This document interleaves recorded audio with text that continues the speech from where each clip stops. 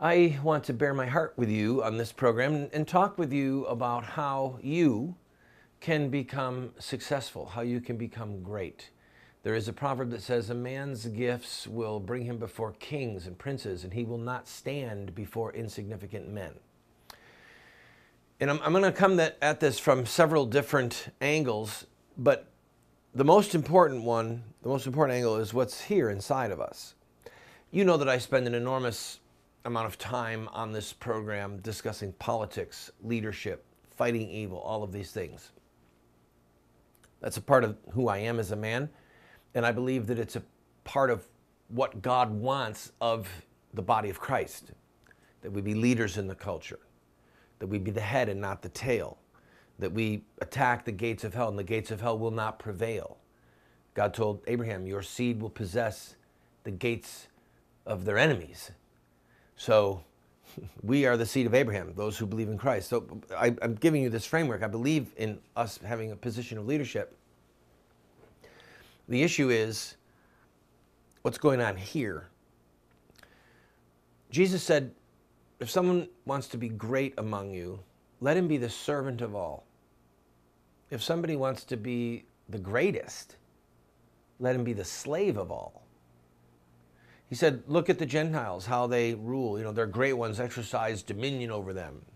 Power, power, power. So in America, we have people that are clamoring to get to the top, ah, fighting, fighting, fighting, stomping on people, clutching at someone above them. And there's another ladder over here. Very few people travel on. The ladder of service we in America call our elected officials public servants or people that are on the government payroll as public servants. They serve the public. I know that that has become largely a misnomer because there's so few of them that actually have a servant's heart. Just go to many of our Department of Motor Vehicles, for example, and see what I'm talking about. But um, there are some good people there. But, but I think most of us have had an experience with a bureaucrat who is a public not servant. Anyway, Think in your life of the people who have helped you the most, the people who were there for you in a moment of crisis. When we had to move because our son is fighting cancer, we came to a foreign city. We knew no one, literally no one. And we had a couple of guys from a church who furnished our entire house that we rented. When we came here, we brought clothing, school books, instruments in our pickup truck and a little trailer behind. No furniture, no silverware, no dish, nothing. And these men who did not know us served us. They were the greatest for us. They served us. They had a servant's heart. They weren't looking for anything out of it. So here are some ways that you can test your own heart. You ready? How do you treat the elderly? How do we treat the elderly? Now, when I say elderly, I mean go right to someone in a hospital bed or uh, bedbound in their own home, right on death's door, old age, and work backwards. Do we give them a sip of water? Do we hold their hand or stroke their forehead? Do we read to them?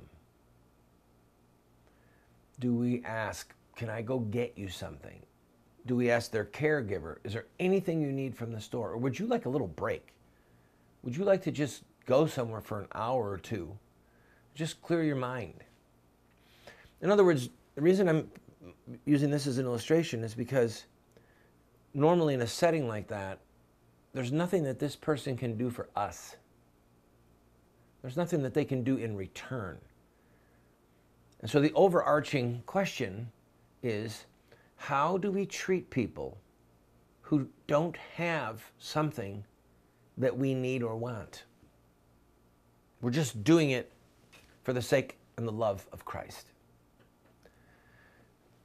So you look at the elderly, you look at children, you look at the handicapped, and then say, How do I serve them? do I serve them?